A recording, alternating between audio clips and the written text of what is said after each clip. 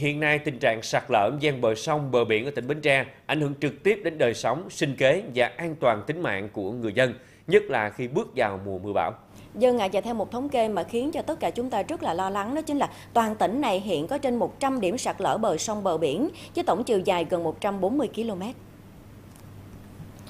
Trong đó có nhiều điểm nóng về sạt lở như là gian bờ biển Ba Tri, Bình Đại và Thành Phú, sạt lở bờ sông Mỏ Cài ở huyện Mỏ Cài Nam, sông Bến Tre ở thành phố Bến Tre, sông Giao Quà ở huyện Châu Thành, sạt lở cồn Phú Đa, huyện Chợ Lách, cồn Thành Long, huyện Mỏ Cài Nam. Về trước tình hình trên thì tỉnh Bến Tre đã và đang triển khai đầu tư 9 dự án xây dựng công trình khắc phục sạt lở bờ sông bờ biển với tổng chiều dài khoảng 8 km.